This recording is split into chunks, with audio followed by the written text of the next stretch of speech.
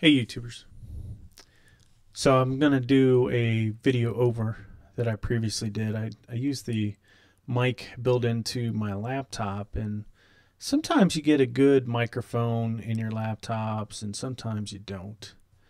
I've got a really nice Intel i7 processor but they skimped on the uh, on the mic. So now that I'm home I'm going to use my Shure SM58 and uh, nice thing about this, usually you don't get mic pops and it's going to sound better. So, all right. So in this video, we are going to revolve text.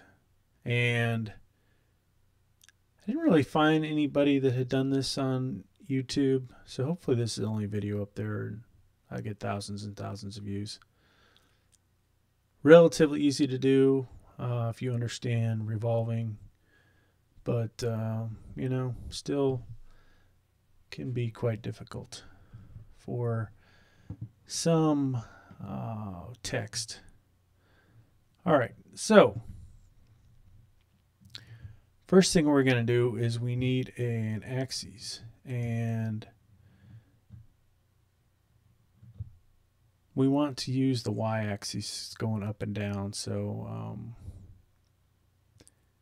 I'm going to select that one in a second. But uh, first thing we're going to do is click on revolve. Um, so we could start with start 2d sketch as well but uh, old habits. Alright so I clicked on the XY plane and from here, you're going to click on text. And we can put the text anywhere we want to. Um, notice where I click at in relationship to how the letters come in. So we're just going to do um, type in inventor.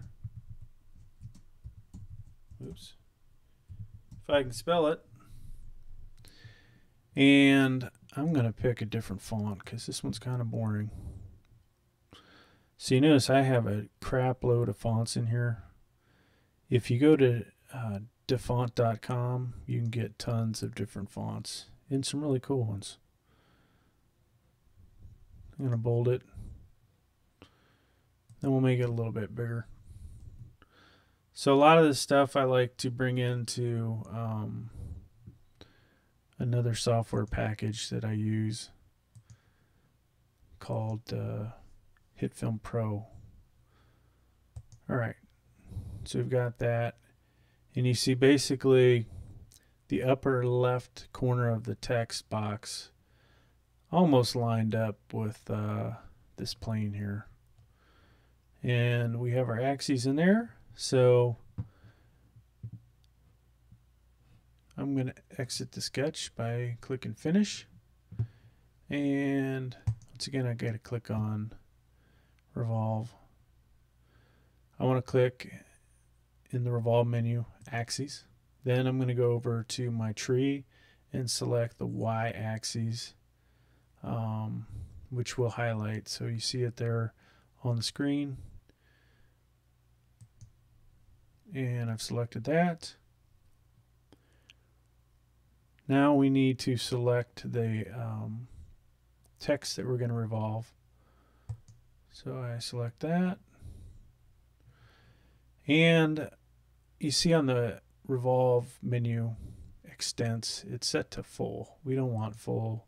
We want to do some angle. Let's say 5 degrees. Let's see what that looks like. It's not doing a whole lot. Let's go with 15. Then I'm going to click symmetric and OK. And there you have it. So we rotate this.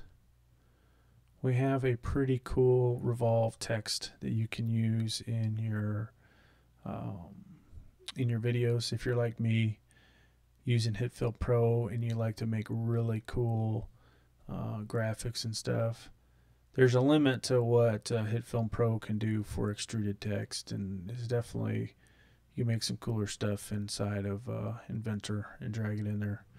From here, I would basically go. Um, I could assign it some properties, but I'll add some texturing inside uh, HitFilm Pro. So I'm going to go to export and I'm going to output it as a OBJ and we'll call this inventor.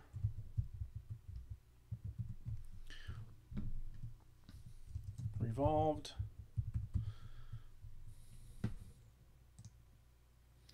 And there you go. So that is basically about all for this lesson. Um, please like please subscribe. I um, have least 15 years of mechanical design. Uh, a lot of that was uh, AutoCAD, Pro E, SolidWorks, I-DEAS, some Inventor, and uh, there's at least one more in there that I cannot remember at the moment. Mechanical desktop. But uh, we'll be doing a lot more lessons and hopefully, if you guys have questions about things you want to see, hopefully I'll be able to answer them. And thank you.